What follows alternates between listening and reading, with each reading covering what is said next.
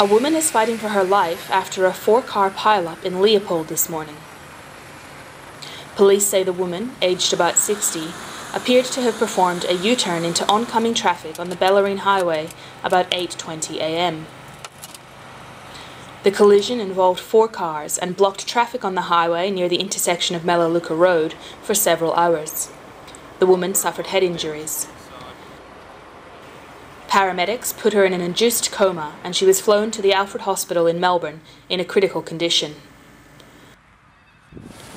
Three other people were treated at the scene, and another man was taken to Geelong Hospital with minor injuries.